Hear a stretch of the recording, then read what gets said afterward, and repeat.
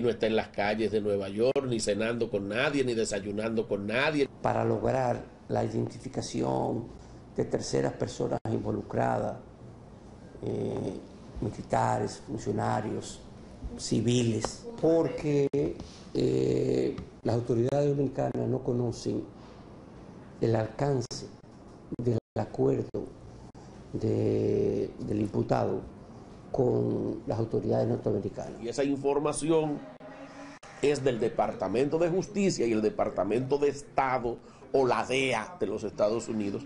¿Cómo lo usan ellos? Como les dé la gana. No hay bienes que devolver. Eso, los bienes que se vendieron se quedaron vendidos. Sí, todo eso sí, porque eso fue un acuerdo.